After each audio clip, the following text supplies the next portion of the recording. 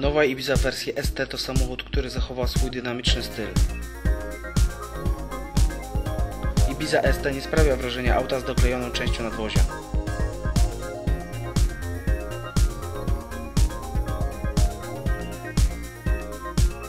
Sporej wielkości bagażnik ma niską krawędź załadunku i regularne kształty.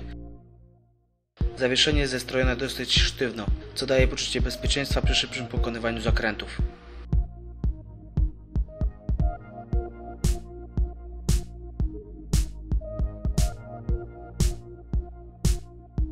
Wnętrze Ibizy ST jest przestronne i uporządkowane, a trójramienna kierownica pewnie leży w dłoniach.